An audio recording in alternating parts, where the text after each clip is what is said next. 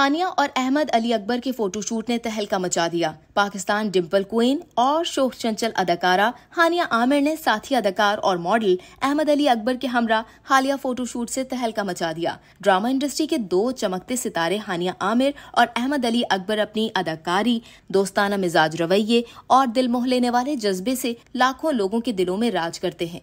मुझे प्यार हुआ था कि अदाकारी हानिया आमिर और ब्लॉकबस्टर ड्रामा सीरियल पर इजाद के अहमद अली अकबर ने हाल ही में पाकिस्तान के मारूफ डिज़ाइनर और फ़ैशन इंडस्ट्री के बड़े नामों में शुमार होने वाले डिज़ाइनर अली जीशान की लग्जरी प्रेट, भाग लगे रेन कलेक्शन का फ़ोटो शूट करवाया, जिसने सबकी तवज्जो अपनी जाने मबजूल करा ली। ड्रामों के बाद इस जोड़ी का अब एक फ़ैशन शूट के लिए इकट्ठा होना फ़ैशन के मतवालों और परिस्तारों के दिलों को भाग गया।